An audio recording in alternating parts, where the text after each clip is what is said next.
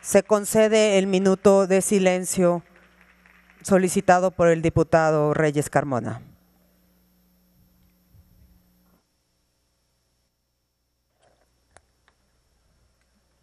Adelante.